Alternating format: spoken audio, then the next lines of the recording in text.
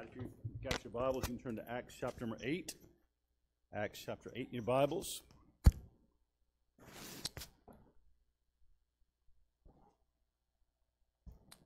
My mind's just flooding with all kinds of thoughts of something to preach.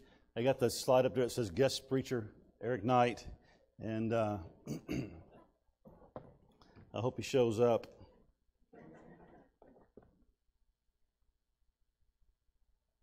All right, if you turn into Acts chapter number 8, I'm going to first start in Proverbs uh, 24 and read a verse and uh, just trusting maybe this is where the Lord would have us to go tonight. Just kind of talk through something, maybe help you with something. In Proverbs 24 in verse number 10, the Bible says this If thou faint in the day of adversity, thy strength is small. Uh, if you quit when you hit adversity, then something's wrong with your strength and you haven't been prepared um, for the day of battle. I mean, if you realize that you can't plan out when the day of adversity is going to be, going to be coming, um, you might feel like, well, I, I, don't have any adversity right now. You may walk out the door and something may happen. Um, today, after we left church, we got outside and uh, Brother Maxie's truck had a flat tire. You never know when issues are going to arise in your life, when problems are going to arise and when you're going to have difficulties in your life.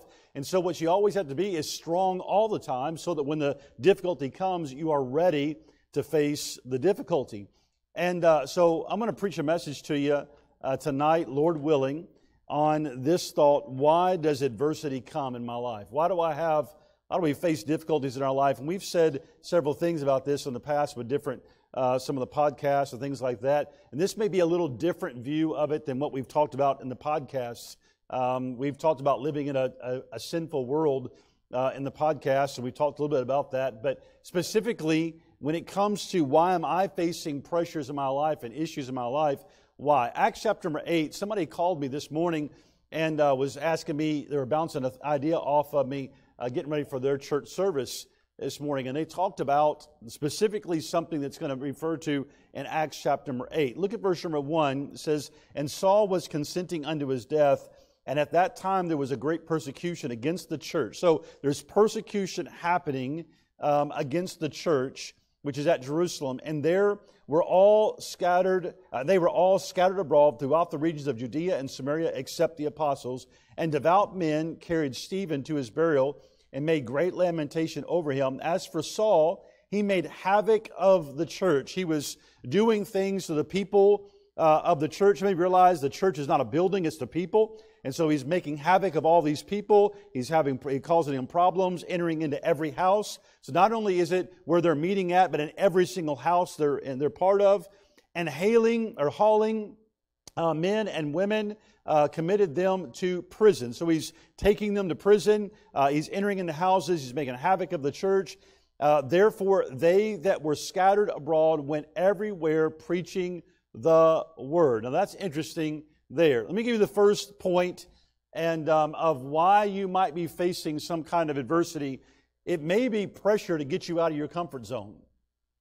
You may be, there. the idea with them, the reason why they had pressure, the reason why God allowed pressure to come into their life, God had told them a long time ago to go into all the world and preach the gospel. God had been telling them for quite a while, go into all the world and preach the gospel. But they got to this area where they were at and they just kind of held up. And they're not going anywhere. They're not spreading out. Maybe they're waiting for the right time. I don't know. But then God gives them some pressure, a little bit of some push just to get them ready so that they will step out and do something. And I think sometimes God will do that. God may do something in a church specifically to get you thinking more about reaching people outside these doors. Now, when COVID hit, um, I mean, everybody just went absolutely crazy. Um, I'm writing a book, and it'll come out, and maybe 30 years from now, I'll probably get it out. But in that book, part of it talks about uh, politics and how a church will try to push a pastor one way or the other when it comes to politics, when it comes to stuff. And, and people were just, I mean, flat out uh, blown away by all the stuff that was going on with it. And if we tried to, if we tried to go one direction and tried to have mass, there was people that's like, ah, you're being a Democrat. And if you didn't have mass, there was somebody over here saying we're going to go get sick. And everybody was just pushing every direction. And let me tell you something: people were not exercising faith that I saw. People were living in panic and fear. And we had all kinds of stuff going on. And let me tell you something. I want you to get a hold of this. I think this is a very true statement. People were saying, How dare you tell me that I can't go out and talk to you? How dare you tell me that I can't get out of my house? How dare you tell me that I can't go and congregate at church? And then after all the restrictions came off, people are like, I don't really feel like going to church. I don't feel like going out and talking to anybody. When they tell you you can't do it, then you start feeling like, well, bless God, you can't tell me. I'm going to go talk to people. And then when they've got the opportunity to do it, well, there's more important things that, than coming to church or talking to people. And so sometimes I think, listen to this close, really close. I think sometimes God will allow some pressures to come in our life just to shake us up a little bit and show us exactly where we're at in our Christian life. Kind of show us where, where, how we're facing things and what we're doing. I told somebody this morning, they, they called me and they said, it's interesting to think about the fact that in every time that Jesus was working with people, um, he, was, he was having to deal with, with people, but there was always problems everywhere he went. and I said, Well, I don't have the time to walk you through every bit of it, but I've got in my Bible the book of the book of Mark. Uh, everything is is is color coded throughout the book. I have that he is he is ministering to multitudes. It's in blue. Everywhere he's ministering to the multitude. He's feeding thousands. He's, he's speaking to these people. He's doing this over here. Uh, people are, are getting healed. He's ministering to multitudes. But the whole time he's ministering to multitudes, he's also molding men. He'll speak to crowds and then he'll get his men off to the side and he'll start talking to them about something, explaining things to them. And he was also managing menaces. I told you, I, I, told him, I said, the issue is everywhere he went to try to do good, there was always somebody standing around saying, well, I wouldn't have done it that way, and I wouldn't have done it at that time, and I wouldn't have done it in that place, and I wouldn't have done it on this day. There's always somebody to cause problems along the way. And he said, Yeah, it's like that even in the church today. And I said, Yes, it is. And when you look at Acts chapter 8, it's a great example of it. And the reason why God allowed things to happen in that church is because they had become kind of comfortable with sitting in Jerusalem and just thinking people will come to us. And God never intended the church to be some, God never intended for us to have church where we sit in here and we act like Christians in here and we never go out and tell anybody outside these doors. God never intended for the church to be that way. God never intended, listen to something else. God never intended for us to come in here, sit in our comfortable chairs, dress ourselves up, and talk about how wicked the world is, talk about how bad they are, and talk about how sorry they are, and then go out there and never tell one of those people about Jesus Christ. Sometimes I think the pressure comes to try to just shake us a little bit and show us that we need to get busy about telling other people about Jesus Christ. Uh, there may become a day that, that uh, they may do a lot like they did before. They say, You can't tell anybody, you can't do anything else. And that day, we're going to have to uh, make our mind up whether we're going to do it or we're not going to do it. But I'm telling you right now, we've got the freedom and the liberty to tell everybody we meet about Jesus Christ, and we just don't do it. I told him this morning, and I've said this several times to you, that when we used to go down to Galveston, we would, as soon as we'd get down there to go fishing, is the first thing we'd do is we'd get in a little flat bottom boat, we'd grab a, a little, uh, like four or five or six crab traps, we would find the stinkiest rotten meat we could find. You'd open up the top, you'd put it right in the middle, you close it up, you take it out to the uh, an area in the shallower waters, you throw it out in there, has a little a little uh, a buoy attached to it, and you let it sit out there in the water. And that was one way of fishing. The way we would fish is we throw it out there and hope that the stink that was in the middle would draw the, the crabs in, and they would come in to eat that and could not get out of the trap. There was another way that we used to fish. And we would go out on the boat, we'd find out where we thought schools of fish were at, and then we'd grab our big net, and we'd take the casting net and throw it out. It would go over all the fish, you pull it in, and you grab in piles of fish with a throw net. Now, one's a very active way, and one's a very passive way, right? One way, you go out and you spot where they're at, and you throw them out, and you go get them, and you bring them in. The other way, you throw a, a, a, something out there with some stink in the middle of it. You go back and sit at your house and watch TV, and four or five hours later, you go back and see what you got in the, in the deal. One's a lazy man's way, and one's a working man's way, right?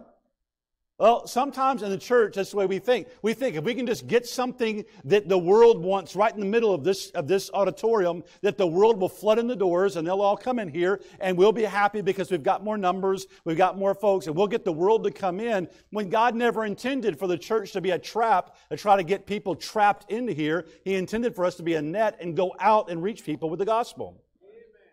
Now, we'll all say amen. The problem is, on Saturday morning when it's time to go do it, a lot of people just don't do it. And so sometimes I think God may, even like this whole COVID thing, God may do something to the church to shake the church up a little bit to say to the church, what's really important to you? What's really important? Sometimes these persecutions can break us right out of our rut and our comfort zones and get us to see that there's something important out there, more important than us. That's the first one. Go back to Acts chapter number five. I, I you know, you're going to be praying this whole sermon. Man, where's Brother Freddie when you need him? Acts chapter number five. One of them is pressure pressure to get you out of your comfort zone. the second one, Acts chapter 5 in verse number 1. Watch this. But a certain man named Ananias with Sapphira, his wife, sold a possession and kept back part of the price. His wife also being privy to it, and brought a certain part and laid it at the apostles' feet. But Peter said, Ananias, why hath Satan filled thine heart to lie to the Holy Ghost? and to keep back part of the price of the land. Whilst it remained, was it not thine own? And after it was sold, was it not in thine own power? Why hast thou conceived this thing in thine heart? Thou hast not lied unto men, but unto God. See, here these people are. They had an opportunity to do something good and right, and what they did with it is they did something. They did a, a portion of something, but they did it, this is the way I understand it, they did it with the spirit of, look at me, look at what I've done. They've actually held back a big portion of it. They just did things to try to get people to see who they were and to praise them. And so they've kept back. And listen, it wasn't a matter of just lying to men, they were lying to God. In verse number 5, and Ananias, hearing these words, fell down and gave up the ghost, and great fear came upon all them that heard these sayings. And the young men arose, uh, arose, wound him up, and carried him out and buried him. And it was about the space of three hours after when his wife, not knowing what was done, came in. And Peter answered unto her, Tell me whether you sold the land for so much. And she said, Yea, for so much. Then Peter said unto her, How is it that ye have agreed together to tempt the Spirit of the Lord? Behold, the feet of them that have buried thine husband, which uh, uh, thy husband are at the door, and shall carry thee out. Then fell she down straightway at his feet, and yielded up the ghost. And the young men came in and found her dead, and carried her forth, buried her by her husband. And great fear came upon all the church and upon all uh, as and came upon as many as heard these things. And by the hands of the apostles were many signs and wonders wrought among the people and they were all with one accord in solomon's porch. And the rest durst no man join himself to them but the people magnified them and believers were more added to the to the lord multitude both men and women. The first one is pressure. Pressure that god may allow to visit the church get you out of your comfort zone. The second one is this you may be, be facing difficulties and trials because of poor decisions that you are making in your life. Now, as a church, we may, we may face some trials for poor decisions, but I'm telling you, there are people that are facing problems in their life because they keep making poor decisions. Now, I, again, the whole time I was sitting over there, I was kind of fighting with myself about doing this message. I feel like, man, it's been right in line with all the messages, just continuing over and over again. I feel like, man, I'd like to give them a break on this whole thing about how we get away from God and mess ourselves up and have to get back on track. But I just felt like, man, this is the way to go. And the idea is sometimes we have problems in our life because of our own poor decision making. There are people sometimes that are saying, man, what's God doing? And why is God doing this? And why God's doing that? And God hasn't done anything to you. You are, you are, you are reaping the results of really bad decisions that you're making in your life. You've put yourself in all kinds of debt and now you can barely get by. And you say, what's God doing? Well, you should have been thinking and applying some principles. Now, I'm not here to kick you while you're down, but I am saying sometimes it's not good to try to blame God and blame everybody else. Sometimes we may have to look at ourselves and say, Am I just making a series of bad decisions? Too often, what people do is they end up trying to blame, listen now, they end up trying to blame a spouse for their bad decisions. They end up trying to blame their parents if they're a young person. They end up trying to blame a lot of people for the things that they've brought into their entire their, they've brought entirely into their own life. And I'm just, my mind floods with people that should be here tonight that started making just a series of really bad decisions. And we tried telling them, hey, listen, don't go that way. You got good counselors in your life, you got good preachers in your life, you got good friends in your life and say, don't go that way, don't do that, don't get involved in that. And they keep doing it. And they, and they, and they, uh, I'm thinking about this thing about lying to the Holy Ghost. They're, they're doing something where they're saying, God, it, it's no big deal. It's not going to happen to me. I don't believe that it's wrong. I'll just do what I want to do. And they find themselves down the road in a complete and total mess thinking, where's God and where are the people around me that's supposed to be here?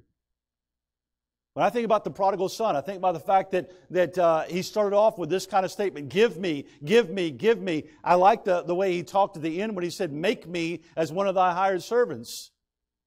He started off with saying, I want everything he got. And this is what I thought was interesting when I've read through that before. He didn't want the Father, and he didn't appreciate the Father's house, but he wanted everything the Father could give him. I want the blessing, I just don't want to be around you. Give me everything you've got, and then I'm going to take off and, and waste it on riotous living, the Bible says. And, uh, and while you had the money, you know what you have? When you got money, you've got friends. Can I tell you what? The, the friends you've got because you've got money, when you're out of money, guess what? You're out of friends. And he found himself eventually having to eat in a hog pen the same things the hogs were eating. Now, what he could have done is like a lot of people could have said, Now, where are my friends? It's my friend's fault. They spent up all my money. It's my dad's fault. He should have told me this or done that. Or where's my dad at when I'm in this mess right here? Where's mom at when I'm in this mess right here? And they could blame everybody else. I love the fact that he said, It's me. and I'm saying to you that sometimes the issues we're having in our life are because we've been making poor decisions. Making poor decisions on the people you're talking to, the people you're spending time around, the things you're looking at. Poor decisions. Young people, listen to this, young people. you spend time looking at the wrong things and putting the wrong type of junk in your mind, and it messes up the way you see relationships and you can't have right relationships anymore, you can't blame that on anybody else. That's you making bad decisions. You slipping off and drinking and doing stuff that you think your parents don't see. I'm going to tell you something.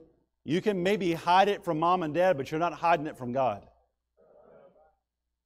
And you find yourself in an absolute mess and listen, sometimes the only times we ever get ourselves right is when everything falls apart around us. And then we finally realize, man, I really am making a mess of my life. I've got to get right. And let me tell you what most people do. Most people don't have the character that the prodigal had of coming back to the Father and saying, You were right, I was wrong. You know what they do? They get mad and they run off even deeper into all the mess. Poor decisions. Poor decisions. Look at John chapter number 15. John chapter number 15.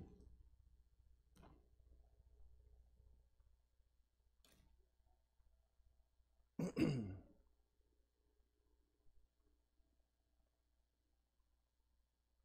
don't know how many times I've tried to say to people, look, don't go that way. Don't go that direction. Don't do that thing.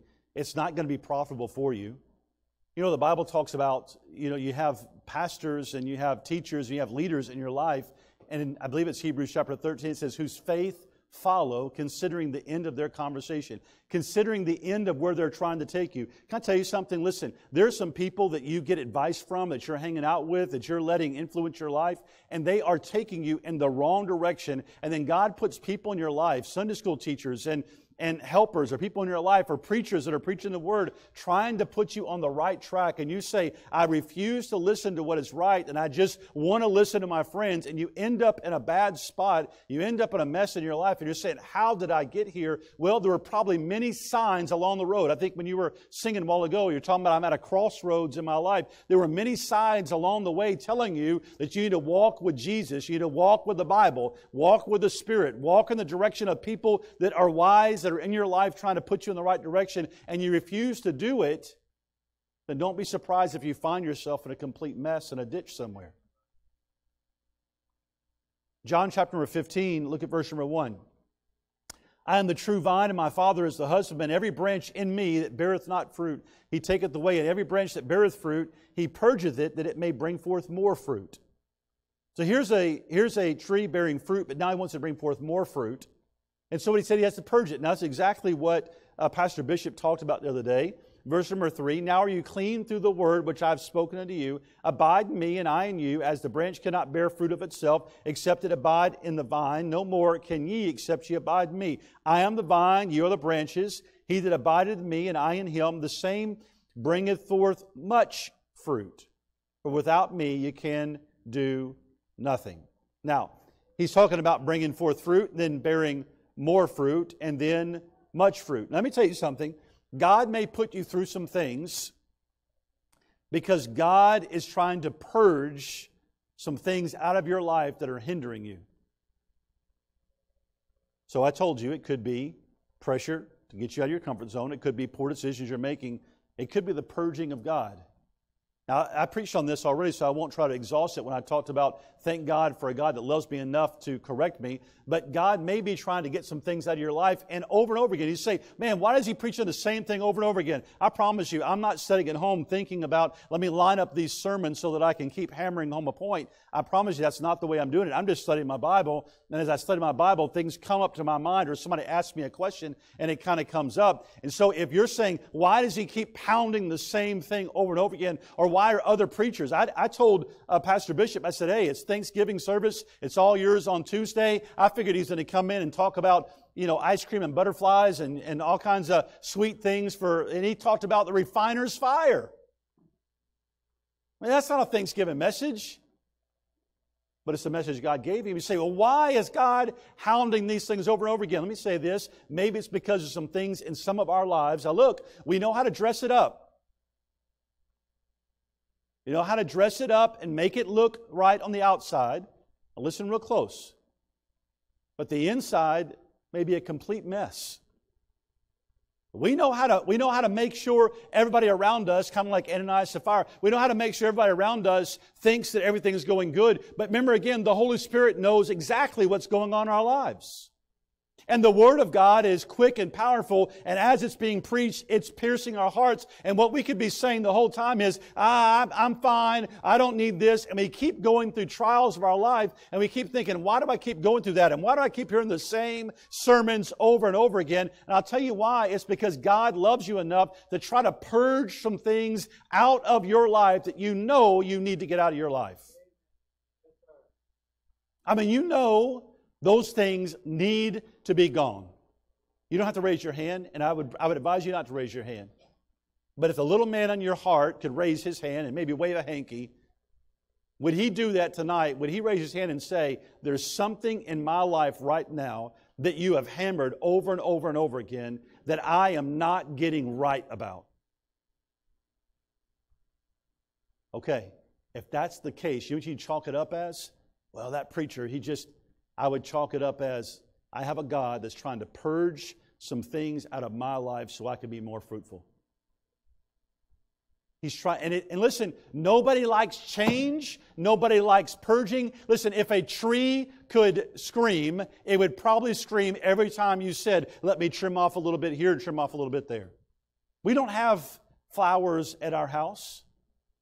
Stacy's just not a good, Stacy's a great cook, but Stacy's not a really good gardener. All right? It's a sandwich technique. You say something nice, then something bad, then something nice again. Well, she's not a great, but her mom is a gardening machine.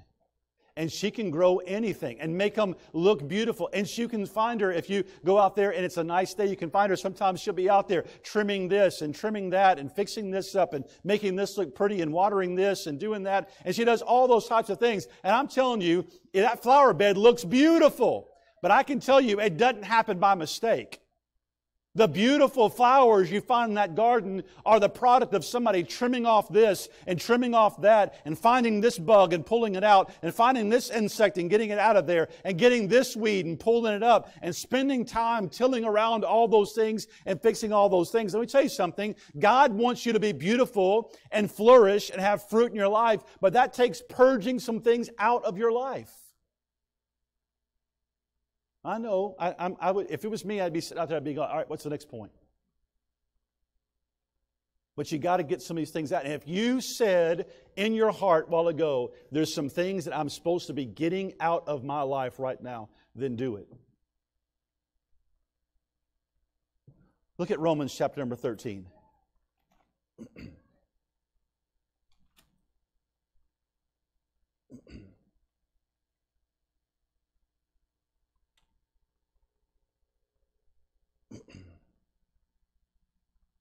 Look at verse number 11. Romans 13, verse 11. And that knowing the time, that now it is high time to awake out of sleep. For now is our salvation nearer than we believe. Meaning this, right now, this second, I'm nearer to the day that He takes me home than I was five minutes ago, right? And I'm nearer right now than when I started this sentence. I mean, every, every second I'm getting nearer to that day. And he says, Look, we're getting closer. In verse number 12, the night is far spent. The day is at hand. So, what do we do as we're getting closer to the Lord? Let us therefore cast off the works of darkness. Let us put on the armor of light. Let us get rid of some of the bad stuff in our life. We know it's not supposed to be there. Let, watch this. Let us walk honestly as in the day, not in rioting, that's excessive feastings, drinking, or sensual indulgences, not in rioting, not in drunkenness, intoxication, not in chambering now, chambering, think about this for a minute immoral sexual behavior, but it's in a chamber. What do you call it? You call it a bed chamber, a bedroom.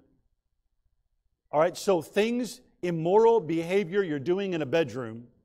Now, if you're married, that's a marriage bed's undefiled. I'm not talking about that. I'm talking about you doing things, sleeping around, doing stuff you know you're not supposed to be doing. Look, the day is at hand. The night's far spent. The day's at hand. We're getting closer to the day we're with the Lord. We need to be putting all this garbage off and putting on the right things. He, he goes on from chamber, not in chambering and wantonness. Wanton is a lack of restraint. And a lot of these have to do with immorality. Not in strife and envying, contentions and envying what somebody else has. And then he says this but put ye on the Lord Jesus Christ and make not provision for the flesh to fulfill the lust thereof. You know what you need to do? Some of us have got to do this purging. You need to start right now removing things from your life that you know are a provision. They're an opportunity for me to fulfill my lust. Now, the little man inside your heart was just going, to Amen. Now, what you did was you said, Shh, don't say anything. People will know I've got problems. But the little man in your heart was saying, Yeah, there are some things I need to cut out of my life so that I stop making provision to fulfill the lust of my flesh. You know, it'd be crazy for a man that was a diabetic to get a job working at Dunkin' Donuts. Why? Because he's like, man, I just, I think I'm just going to get me a scoop. It's right there. Look, if you know you've got problems with some of the sins that you know you've got issues with, Get them out of your house, make it harder to fulfill the lust thereof. Cut some things off.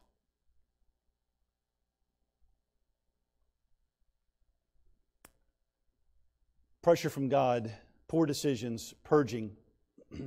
Sometimes it's because it's a, per, a, perverse nation that we're living in, and, and, uh, and we do know that. Look at Acts chapter 9. Acts chapter 9.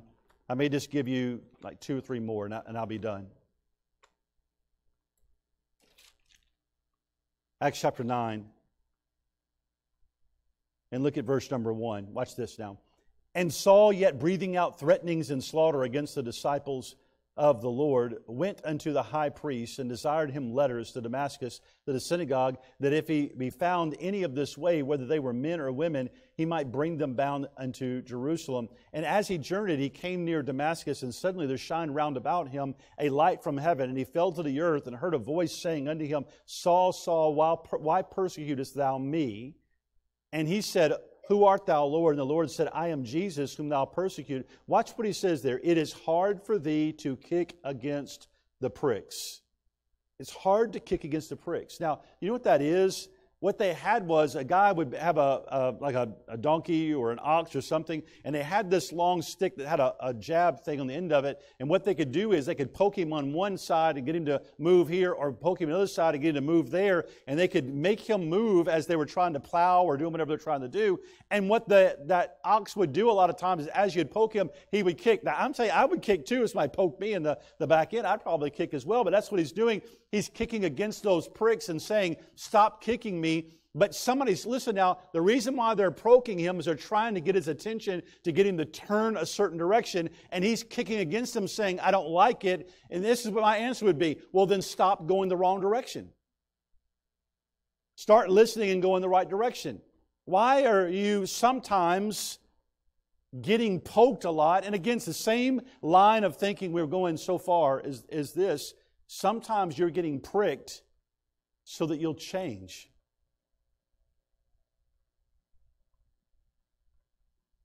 And God's trying to get you on the right track. Now, listen, if I was talking to a lost person, you know I'd say to them? It may be that God's trying to wake you up to your lost condition so you can put your faith and trust in Jesus Christ. And it's over and over again, things are happening in your life to try to show you that you've got a need for a Savior.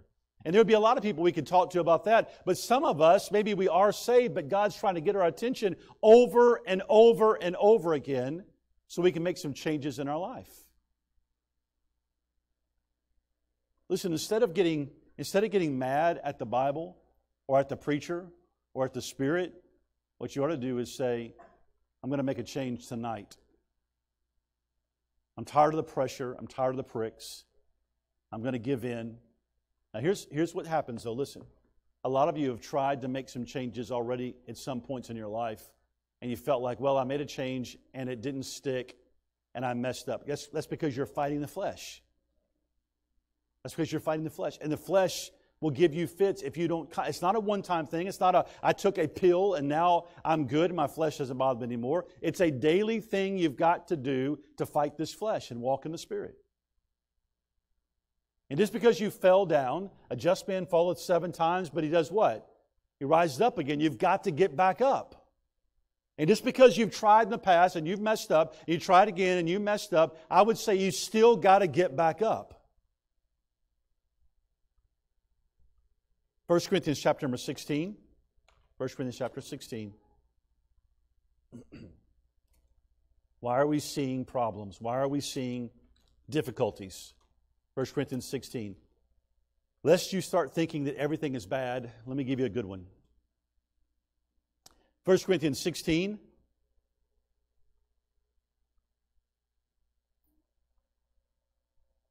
This is what he says. In verse number 8, for I will not see you now by the way, but I trust to tarry a while for you if the Lord permit. But I will tarry at Ephesus until Pentecost, for a great door and effectual is open unto me, and there are many adversaries. Can I tell you that sometimes you'll have pressure and difficulties, not because you're on the wrong track, but because you're on the right track.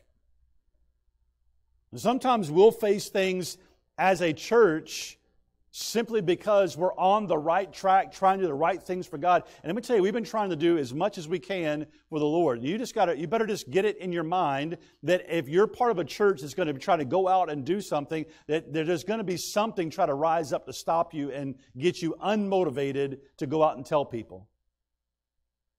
Well, we've, we've tried to do things. We did the Operation Christmas Child and sent out 400 and something boxes with John and Romans and gospel and trying to get that into kids in foreign countries. Uh, before that, we think we sent out 10,000 tracts. We figured out there's 12,000 homes, uh, residences in Copperas Cove. So we sent out 10,000 uh, flyers to every home with the gospel on it with QR codes that they could watch. We put a video together of how to get saved and put all that together so they could watch it and have a clear presentation of the gospel. Uh, we went for the out to the uh, fall festival. We put out some 3,000 tracts and put them in, in bags. Uh, Pastor Miller did most of that work, but put candy in bags and then put gospel tracts in those bags and sealed them up and sent them out. You know what we got as a result of that? We got a like a one star review for for the church. And the person that gave us a one star review says that they were upset that we put gave candy to their kids along with a gospel tract that told them about Jesus Christ. You say, well, that just sounds absolutely bizarre, but that's the way this world thinks. And if you're going to try to do it, now listen, that's not very that that's not really that big. But I'm going to tell you, the more we try to get out there with the gospel, the more we try to give the gospel to people, the more that the devil is going to try to rise up and cause us problems and bring more adversity against us. You better just you better just get your mind wrapped around that the more doors of opportunity. I'm telling you, doors of opportunity have been opening up to us. We've been going on the post and and uh, and having a, a, a Bible study classes on Wednesdays at the on the post. Brother James and them have been able to do stuff with wounded spirits here, but also wounded spirits on post.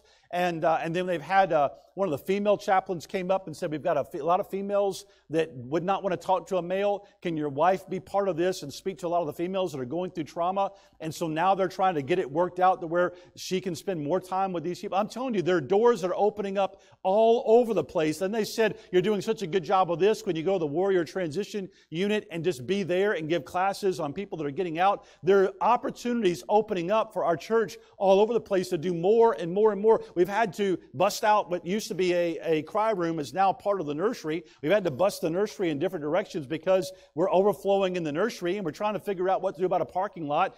And you got to get permits for even moving a pile of dirt from one place to another. And we got to get that paved and we've got to do more rooms and figure out more classroom space and do more things. We've got ideas for for schools and all kinds of stuff, but we're just kind of out of space. That's a good problem to have. But I'm telling you, the more opportunities that God gives us to try to be a blessing to more people in this community and around the world, I promise you there'll be more adversity. And adversity is not there for you to stop. Adversity in those cases tell you you're on the right track. Let me give you the last one. Look at 1 Kings chapter number 17.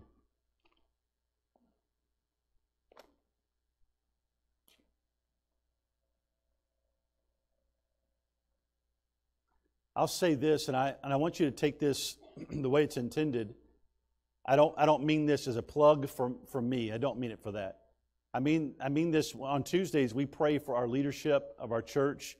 We pray for individuals, pray for all of you, pray for a lot of you. We pray for the leadership of our church. And I can tell you this that a principle from the Bible is you smite the shepherd and the sheep would flee.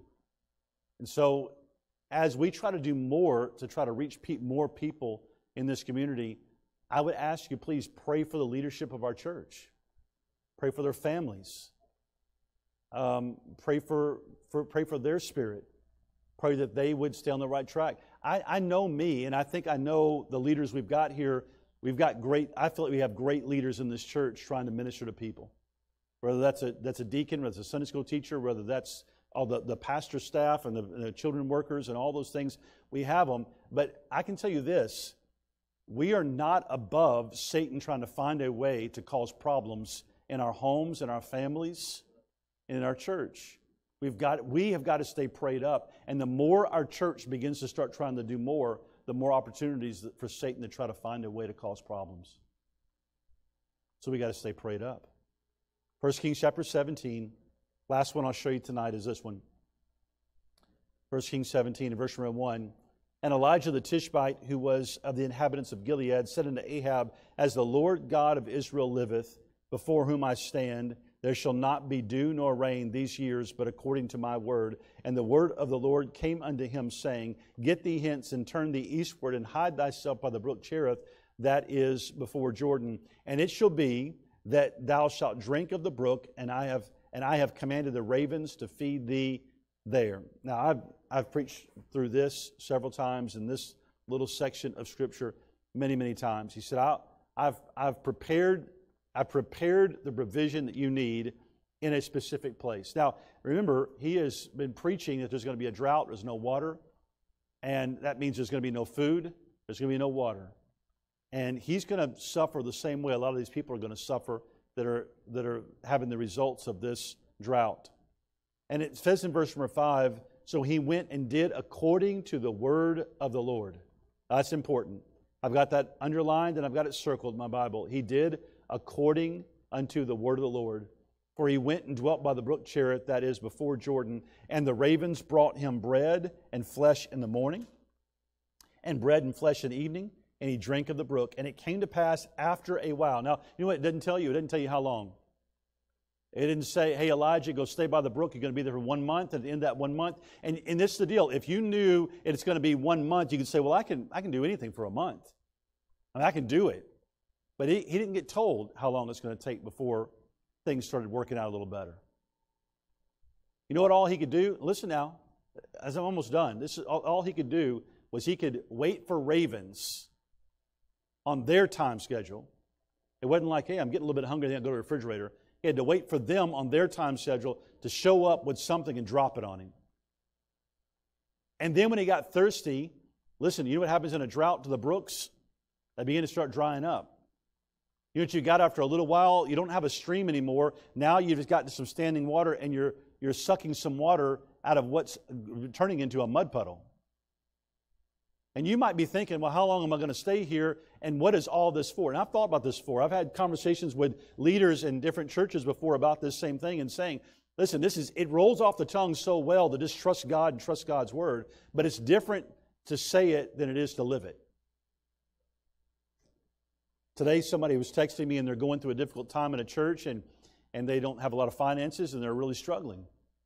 And, um, and it's, a, it's a real difficult, it's a real hardship.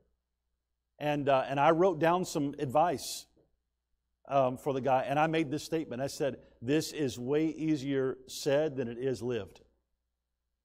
I can give you advice all day long. I'm not you having to live it. It's easy to tell somebody how to do something, but I'm not where you're at trying to suck water out of a mud puddle right now, hoping a raven drops something in on me. But, but here's the thing that's interesting.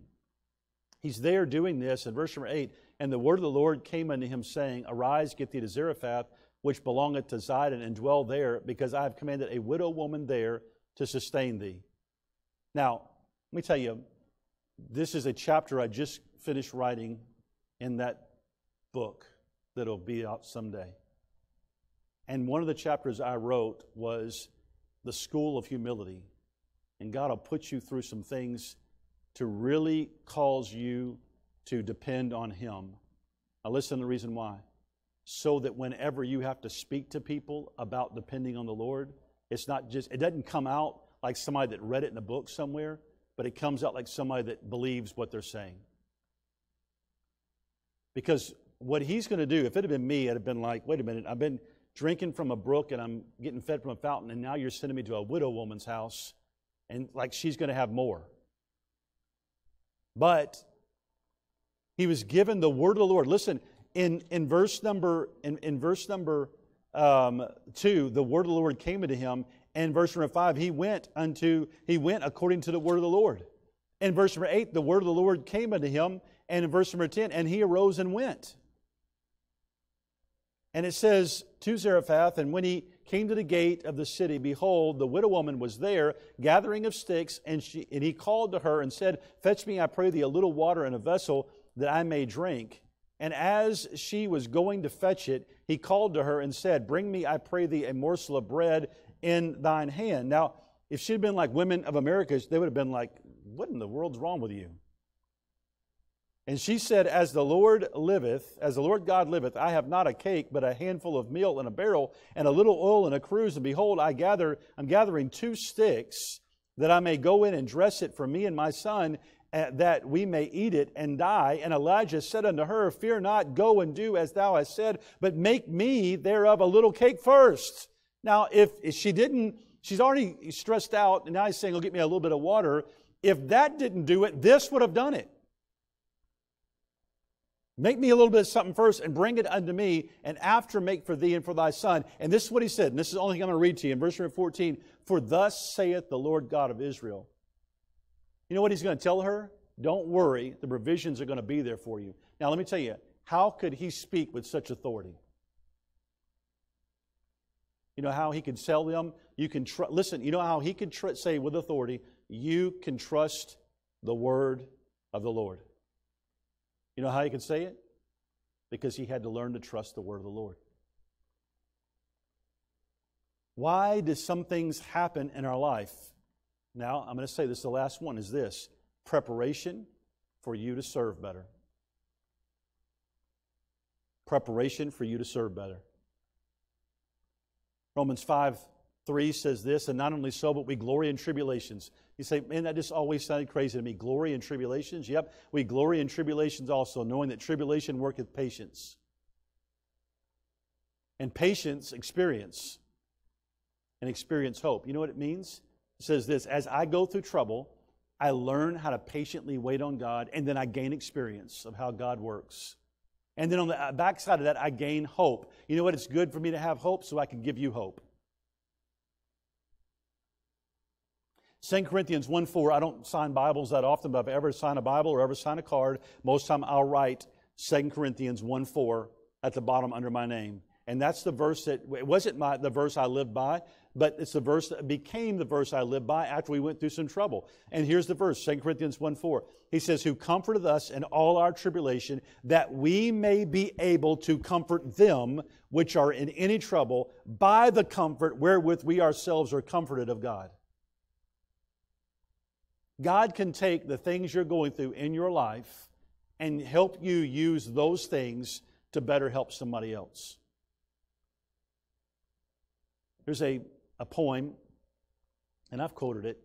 I've quoted it. In fact, before Brother Freddie sent me a text today and said, I'm not feeling well, I was driving here quoting this, this, um, this poem, seeing if I could do it without reading it because I, I love this poem. And, uh, and I couldn't, so I'm going to read it to you. It says this I'd rather see a sermon than hear one any day. I'd rather one should walk, uh, uh, that should walk with me than merely show and tell the way. The eye is a better pupil and more willing than the ear. Fine counsel is confusing, but examples always clear. And the best of all preachers are the men who live their creed. For to see the good put in action is what everybody needs. I soon could learn to do it if you'll let me see it done. I could watch your hands in action, but your tongue too fast may run. And the lecture you deliver may be very wise and true, but I'd rather get my lessons by observing what you do. For I might misunderstand you in the high advice you give, but there's no misunderstanding how you act and how you live. When I wrote, when I wrote that chapter in that, in that book, I was not planning to write it, but as I was thinking through the school of humility that leaders will have to go through in order to minister to people better. I, I wrote this down, I, and this is the truth. When I came out of uh, Bible school, I had the Bible school uh, diploma. I had an ordination papers that said I was ordained. Um, I had somebody that blessed off of me and said, "Go do what you're going to do." And I had a church that said, "Come and be the associate pastor." And uh, and my mind was, you tell people what the Bible says. I mean, you get up, you tell them what the Bible says. And, the, and, and, uh, and there was a lot of people that liked my youth and my zeal. They, they liked that, man, that guy's got youth, that guy's got zeal. And a lot of people liked it. And there's a lot of people didn't like it because all I came across is kind of an arrogant person that was telling you what to do with no feeling, no heart at all. But I thought that's what we're preaching is you just tell people what to do, and, and the people that like it probably are the spiritual people. The people that don't like you are probably the carnal people that need to go anyway. And so that's just kind of my mindset of how I thought this thing works, and that's what you got to do until I felt like God put me through the school of humility. You say, well, you need to go back to school. I probably do at some point. But I had to go through some humbling situations that at the time, listen now, at the time of drinking from the brook, I wasn't too happy about it. But on the other side of it, looking back, I say, I'm thankful that God put me through some things that helped me to see people better, to see His Word better, to see God better. And there's people sitting in this room right now that I, I, I, could, I could call you out right now and you would be happy, you'd be okay with me calling you out. And you would agree with me and you would say, You're right, preacher. And there are things that on this side, you thought things, you said things, you had a view of God, a view of the Word, a view of church, a view of stuff, and this is the way you thought, and you would say it, no problem and then you went through some difficulties, and you're probably still in some of them, and on the other side of it coming out, you're seeing at a whole different level. Amen? You're seeing God at a different level. The things you knew in theory before, now you know. The verses that used to, hey, look, I, I, I wrote down in, uh, in that book, there were people that I thought were mature Christians that said some really immature things. We were trying to have children. We were struggling with that whole thing. We had a guy that used to come to this church years ago, before any of you came to this church. Well, not all of you, but most of you. And he said to us, said to us one time, he says, Well, are you sure maybe you're just not giving enough money to God? If you gave more money to God, God would probably give you a baby. Now, let me tell you, that was supposed to be an, a mature Christian, but that's one of the most immature things I've ever heard anybody say in my life. There's a lot of people that have theories about how God works before they have to go through things. And when they go through things, end up on this side, you know what? They, they, they don't just think they know about God, now they know about God. And now they're knowing things at a different level. Now they're, they're seeing God different than they saw God before. They're seeing people different than they saw people before. They're seeing the truths of the Word of God, not just as truths you throw out there, but as lifelines you hold on to when you're sinking in some things. They see things different. So the, the sermon is why are difficulties coming in my life? Well, sometimes it's just shaking you up a little bit so that you can get out of your comfort zone. Sometimes it's because you are making repeated horrible decisions and you keep falling in the same deal. Have you ever seen that little video of the sheep that's in that little ditch? It's a little ditch that's been carved out. The sheep's in that ditch, and somebody gets the sheep out. There's guys that are trying to pull the sheep out, and they get him, finally get him up, and everybody applauds. They get him up. They send him on the ground, and he takes like three steps, jumps in the air, right back in the exact same ditch, and he's stuck again. I, think about Christians, and I think there are Christians I know that I could put their name on that sheep or on the side of it, and I'd be like, that's them. You get them out, they take a jump, and they're right back in it again. Sometimes it's because of our own stuff. Sometimes it is because we're on the right track and God's just trying to, trying to keep us going on the right track and the devil's trying to stop us. And sometimes it's because we're supposed to learn something so we can help somebody else. And I'm just telling you, you say, Well, I've got some bad things happen in my life. I wouldn't say that God's the author of the bad things that happen in your life, but I can say this God is able to take all things and work them together for a good according to his purpose and use you to be a help to other people. And um, I wrote when I wrote that when I wrote that chapter in the book the other day. I've said this. Most of you know this, but for 20 years we're we were trying to have children.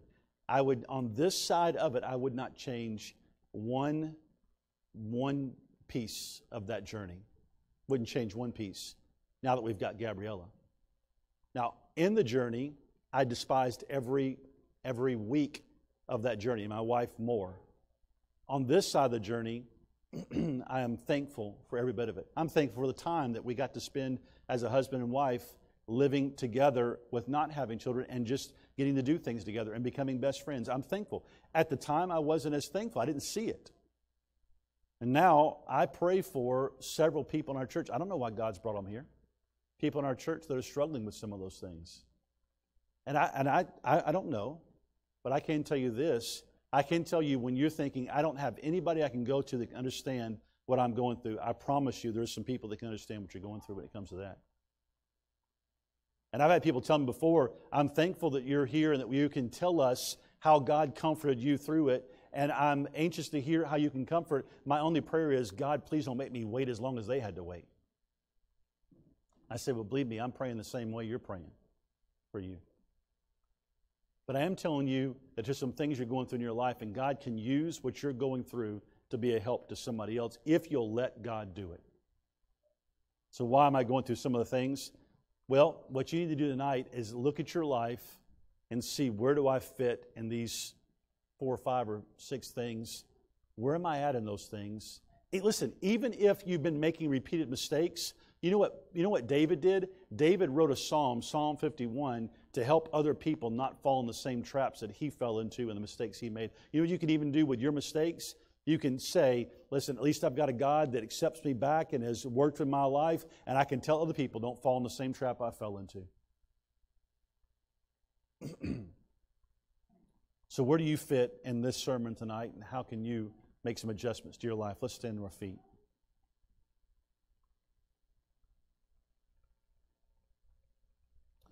I told somebody today in text, I said, I know you're going through a difficult time. And this is, a, this is something you need to all hear this. You're going through a difficult time. I said, while you're going through a difficult time and you don't have a lot of light, don't make a big decision. Don't make a big decision. It's not the time to quit. It's the time to see what God's doing. Don't make a big decision. And I know it's hard to hear that, but you're going through something, and watch this now, and other people are watching how you handle it. And what you're going through, like Daniel, like the, the three young men in the, in the fiery furnace, that really, that trial was more for Nebuchadnezzar than it was for them. People are watching how you're dealing with the trial you're going through. Don't make a big decision and quit on God in the midst of a trial. It may be on the other side of it, you learn a valuable lesson and you're better off for the trial than you were before you ever went through the trial. Lord, bless these people tonight. Do a work in their heart. Bless them now. Help them in Jesus' name. Amen. Some already praying. Why don't you come pray tonight?